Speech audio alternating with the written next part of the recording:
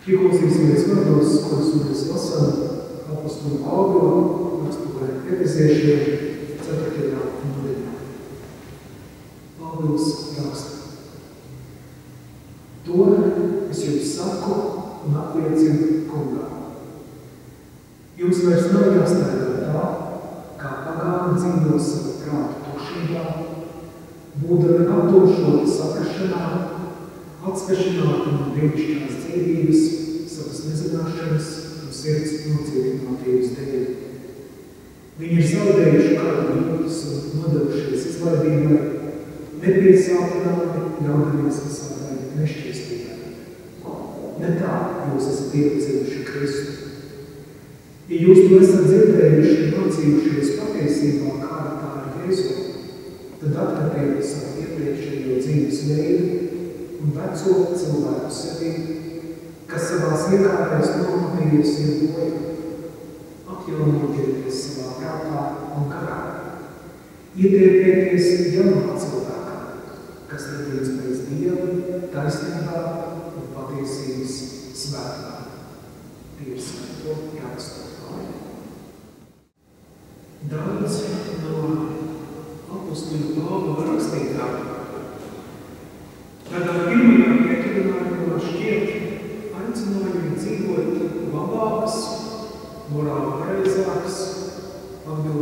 atbildīgākas dzīves. Mainīt savu dzīves veidu, tā sacīt, atmest smēķēšanu, nekašķēties ar citiem bez iemeslu, kļūt disciplinētākiem, stāvēt pretī kādām savām vājībām, nenoliedzot, ka tas tā nav, tomēr tuvāk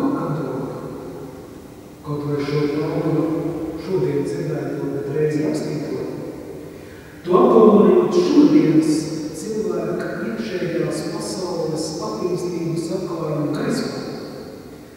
Нові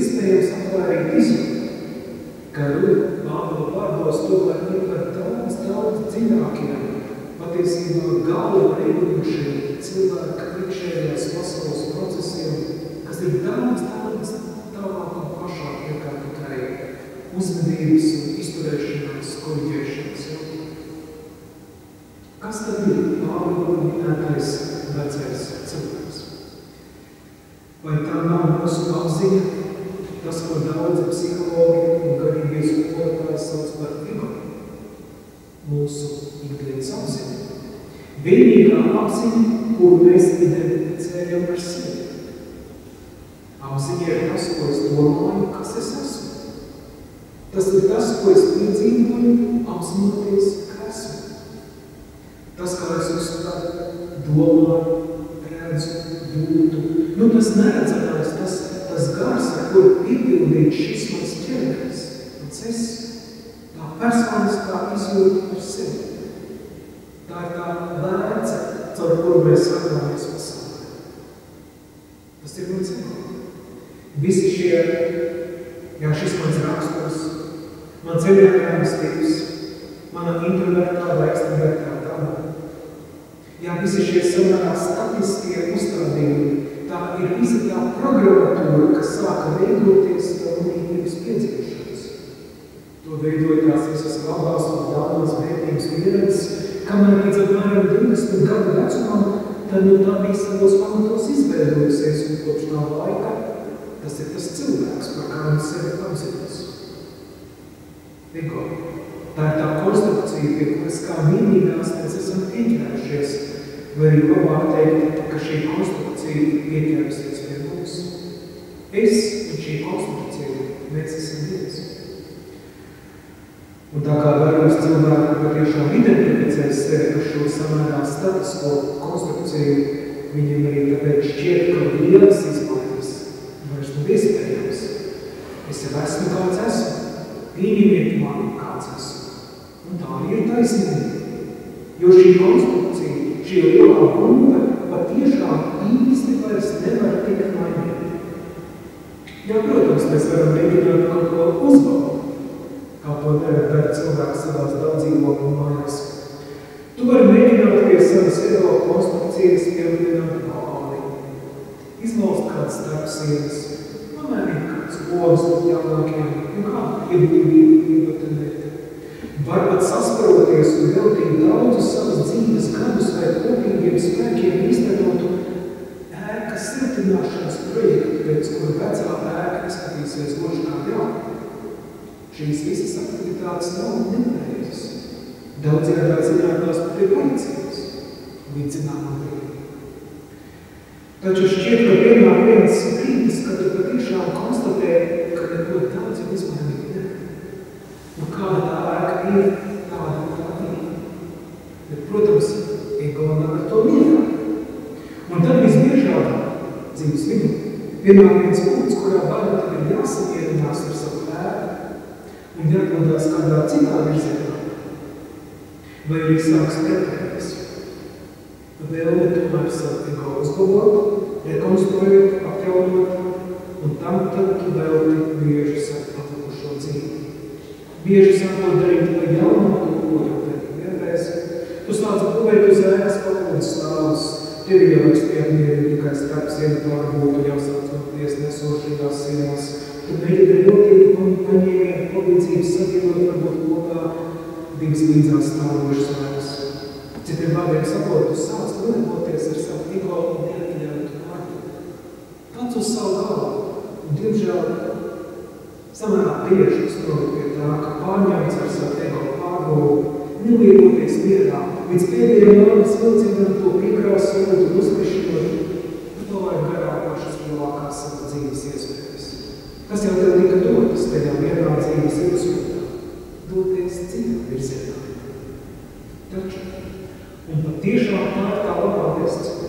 Neviens cilvēks jau šajā pasaulē nav palicis uz visiem laikiem savu ego vairs.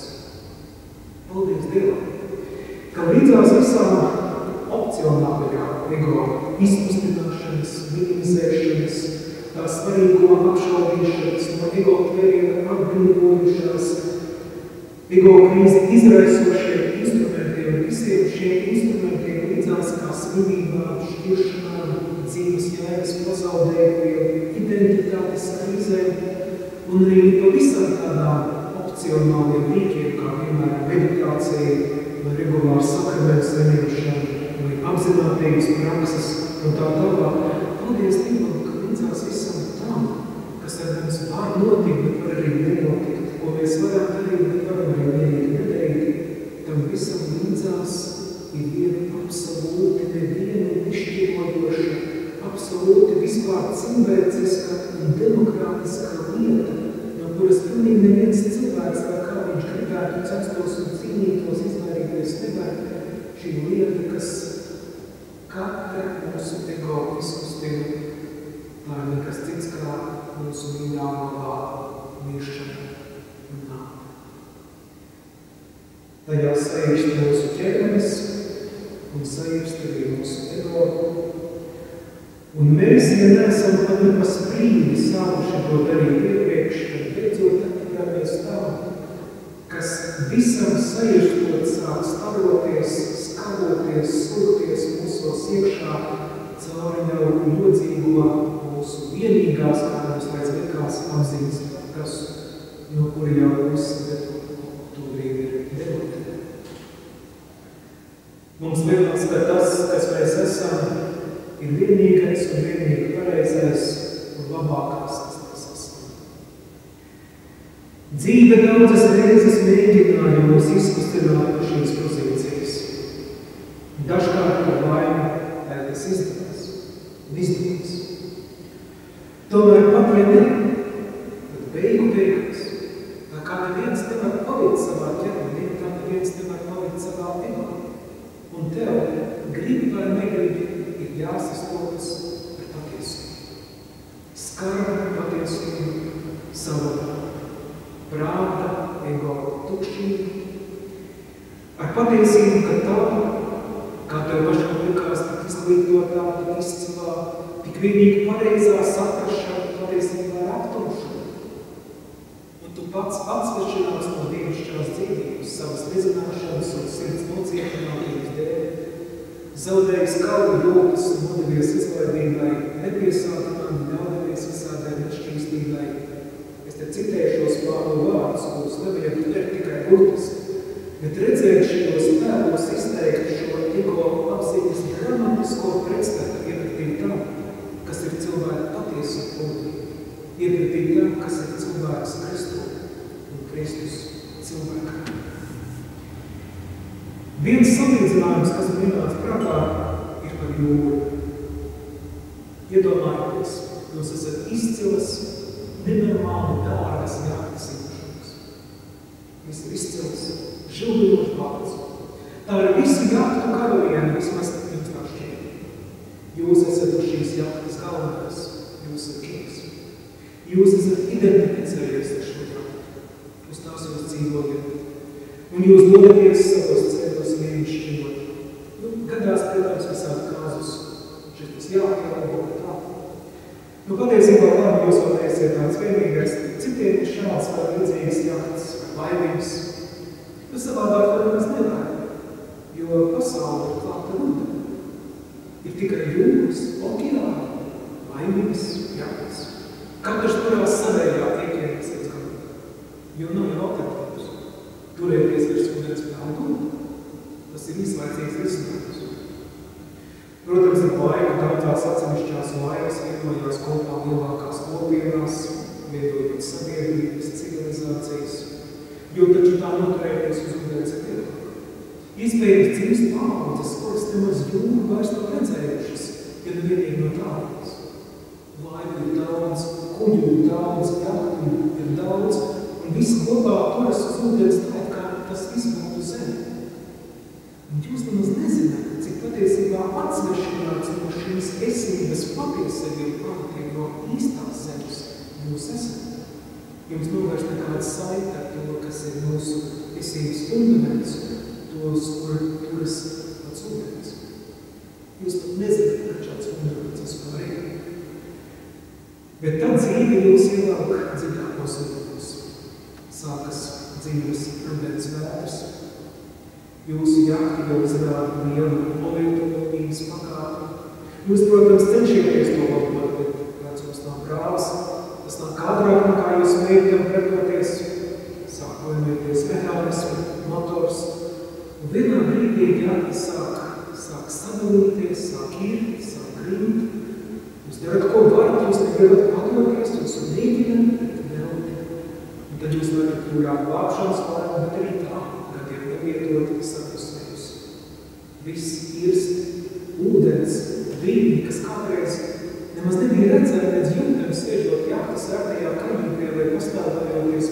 smokās uz ūdeniem būvētās sabiedrības promenādu, tas tagad viss gāžas jums virsū un kļūst tikai vairāk, jo visur ir ūdens jūsu lielākais ienaidnieks. Un beigās jūs varētu mesties jūrā paši. Astājoties mūres gan grīzdošās jahtas, kas ir visi jūsu ego atūzes. Un tad, kad jūs par dievāku pildēt, ka esat nonāks nav spēdējās drēbes, kad jūs kā jūs skatāties jūrā, jūs saprotat cauri, jūs saprotat mirs. Un tajā brīdī vēl kāds saka, mirs. Un vētra kristas. Iestājas mirs. Un jūs ieraugat to, ko jūs iepriekš aiz tekojošo brīdi galvotājiem neredzējāt. Jūs ieraugat to, ko jūs nekad mūžā neesat redzējuši. Jūs domājāt, ka visa pasaule ūdens. Ka vienīgais uzdevums ir noturēties virs ūdens. Ka tas ir viss, kas ir. Bet tagad jūs ieraugat zemi. Jūs esat pietuvojušies kādai savu. Jūs ieraugat šīs esības ūdeni.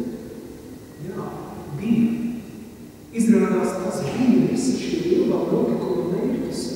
Jūs ieraugat to, kas jūs patiesībā esat.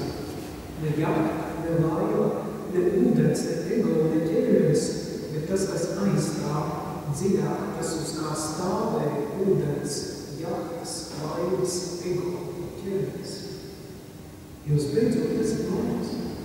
Un pirmo reizi mūžā nostājieties ar kājām uz zemes un aptvērt, ka viss, kas ir bijis iepriekš, ir tikai sagatavošanās tagad. Jūs iedēties jaunā cilvēkā, kas radīts pēc Dieva taisnības savu. kas Dieva taisnībā radīts un patiesības svētumā. Pāvila ierosinājums vēstule efeziešiem patiešām ir vairāk nebūs. Mums nav savā ikdienas apziņā kā vienīgajā, kas mēs esam ieķēršies, jānovēl līdz brīdim, kad sāksim mirt. Jo mirkt mēs tāpat sāksim. Un lielā nauda mums atklās un iemācīs to, ko neviens nevar iemācīties un ieraudzīt šajā dzīvē. Taču mēs jau tagad varam sākt vērtīgi pamanīt to, kas starojas, skarojas, sūdzes mūsos cauri tiem dzīves posmiem, notikumiem un pieredzēm, kurās mūsu ego tiek izkustināts, kurām tas sāk vaisāt un cauri pasauli sāk spīdēt kādu gaisu, kas vienkārši ir mūsu patiesā būtība. Kristus mūsos, ko vēl neviens pat ne pa pusē nav iepazīts. Un mums te būtu vairs nav jāstaigā Pāvilu vārdiem tā, it kā vecais cilvēks būtu vienīgais cilvēks, ko pazīstam. Ak, ja mūsu ego, mūsu ģimienes apziņa ir vēl kāda stipra, un viņa tāda arī ir, Kādam ego ir stipri 70, bet īpaši stipri ego pat 80 gadu dzīvo labā formā. Apzināšanās, ka tā ir tikai mūsu ikdienas apziņa. Tikai tas, ko mēs domājam, kas mēs esam. Šī apzināšanās ir jau uzceļš uz mani. Apzināšanās, ka es neesmu ķermenis, bet man ir ķermenis, ka es neesmu ego, bet man ir ego, ir liels solis uz priekšu, tikai brīdī. Jo, un tikai jau uz to Pāvils balstās. Mums ir tāds ceļa rādītājs, tāds augstais priesteris, kurš ir miris savā ego pie krusta un sasniedz to krastu, ko sasniegt aicināja mūsu. Augšā celtais Kristus aicina augšā celtais arī mūsu. Jā, visiem bez izņēmuma ejot cauri nāvei, bet arī jā, joprojām arī tas piedāvājums opcija. Jau tagad jums vairs nav jāstaigā tā kā pagātnē, kas ir atšķirīgi no dievišķās dzīvības un pašu to nezināt. Jūs to zināt, mēs to zināt. Un vai arī dzīvojam masīvā, nesatricināmā dzelzs stieņu cauraustā, grūti caurūviemā betona simtā ietvertā mājoklī, mēs varam sākt apzināties to pasauli, to visību, ko pagaidām mums aizsver šīs betona sienas. Mēs varam sākt klausīties, turpināt, gaidīt, būt veidīgi iepratīgi sev tam, ka šīs sienas sapustīja, uzdrošināties pieņemt sapīgās pieredzes un zināt, ka visām traģēdijām šajās sienās vienmēr ir arī otra puse, jo tās turpina mūsu ego sienas un paliec mums dzīvot arī tad, ja mirstam. Visām traģēdijām ir šausmīgas puses. Varbūt tad kādam varētu šis, tad kam mums tā betona nāk? Kam mums šī dara? Dosimies uzreiz skaistajā nākotnē. Taču nē. Tieši tas, kas te mums notiek šajās sienās virs jākas. Tieši tas, kā izkustās, kā grīmst, kā ir tas vienīgais, ko domājam, ka esam. Bija šis process daudzu, daudzu gadu desmitu garumā, nu vidēji vairāk, ir tik ļoti nozīmīgs, jo tieši tas, par ko mēs kļūstam šajā procesā, un par ko tad kļūst tā mēs, kura ego ištot pārvēršās, tieši tas dara mūsu dzīvi tik iecīgi, tik nozīmīgi, tik vērtīgi, tieši ar visu, kas tajā notiek. Un tad mēs tieši atveram, ka vieni citi Pāvila vārdi, jā, patiesībā viens viņa likums, ir kā tāda izsēdece visām šiem ceļām. Jūs zināt šo teikumu, bet ieklausieties vēlreiz. Mēs zinām, kad uz zemes celtā trauc, kurā mīta reiz senus, mums būs Dieva celts mūžīgs mājoklis debesīs, kas nav rokām darīts. Ego celtā telts reiz senus, un mums būs gara Dieva, No visas esības pamata un avota veidots mājonis. Mūsu patiesā seja, daba, mūsu patiesais es, mūsu īstā patība, kur es esmu Dievā un Dievs manī, šī absolūtā vienotība, šī zeme, uz kuras izkārtot sāksies tas, ko acs nav redzējusi un acs nav dzirdējusi. Atcerieties, Astrīds Lindgrēns grāvis valsts. To grāmatu ar sausi un viņa grāmatu jautā. Sausiņš domāja, ka Anglijā ir viss pietuvējums. Taču izrādās arī tur. Bija gan katla, gan ļaunums. Izrādās brīvs no visa ļaunā un neizsakām priecīgs cilvēks var būt tikai naīvībā. Un Vingrēns grāmata beidzās ar vieniem izciliem vārdiem. Pēdējā vārds šajā grāmatā bija es redzu gaisu. Es redzu gaisu. Ja šo gaisu redzam vien mēs, jo zinām, ka iekš mūsu ikdienas apziņas, tad jā, kas kā domā, jau tikai vienīgas un mēs, tad jāspīd iekšā kādu gaisu, par ko tik skaidram noteikti runāt Pāvils, kad viņš saka, ka mēs zinām.